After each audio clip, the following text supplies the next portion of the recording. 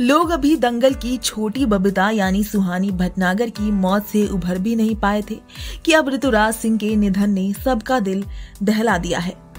Film और TV industry के मशहूर एक्टर ऋतुराज सिंह का 60 साल की उम्र में कार्डियक अरेस्ट से निधन हो गया। ऋतुराज सिंह फ़िलहाल टीवी शो अनुपमा में नज़र आ रहे थे।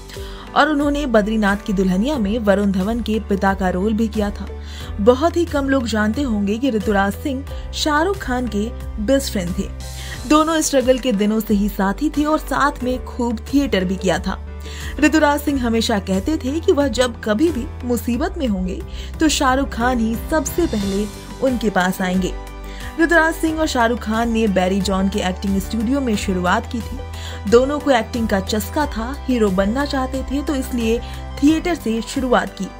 दोनों बैरी जॉन के थिएटर ग्रुप, टैग यानी थिएटर एक्शन ग्रुप का हिस्सा थे। दिल्ली में रहने के दौरान ऋतुराज सिंह और शाहरुख खान की दोस्ती काफ़ी गहरी हो गई थी। ऋतुराज और शाहरुख की उम्र में सिर्फ़ एक साल का फासला था। ऋतुराज बैरी जॉन के थिएटर ग्रुप में 11 साल से जुड़े थे। लेकिन शाहरुख खान उनके पाँच साल बाद थिएटर से जुड़े। इसके बावजूद दोनों की पक्की दोस्ती हो गई थी। ऋतुराज सिंह ने शाहरुख खान के पचासवें बर्थडे पर इंडियन एक्सप्रेस से बात की और कई किस्से शेयर किए थे। ऋतुराज ने बताया था कि वह और शाहरुख एकदम चड्डी बडी यार थी। दोनों एक दूसरे के कपड़े भी पहन लेते थे। जब भी वक्त मिलता तो शाहरुख और ऋतुराज सिंह साथ में वक्त गुजारते। शाहरुख कई बार ऋतुराज को अपने वैनिटी वैन में बुला लेते और साथ में सिगरेट पीते थे।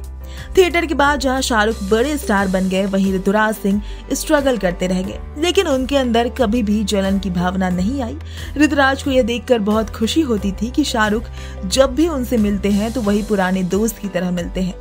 यही नहीं, वह अपने बाकी दोस्तों से भी ऋतुराज सिंह को यही कहकर मिलवाते हैं कि वह उनका सबसे पुराना दोस्त है।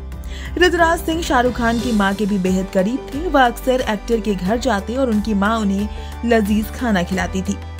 ऋतुराज हर स्थिति में शाहरुख खान के साथ खड़े रहे। जब शाहरुख की माँ का इंतकाल हुआ तो एक्टर बुरी तरह टूट गए थे, पर ऋतुराज उन्हें हौसला देने के लिए खड़े रहे। ऋतुराज ने बताया था कि थिएटर के दिनों में जब शाहरुख गौरी को डेट कर रहे थे तो वह उन्हें चिढ़ाते थे। वह उनसे कहते थे कि कॉलेज की खूबसूरत लड़कियों को घर ड्रॉप क्यों नहीं करते? इस पर शाहरुख चिढ़ जाते और कहते कि, तू पागल है, मैं सिर्फ़ गौरी से प्यार करता हूँ।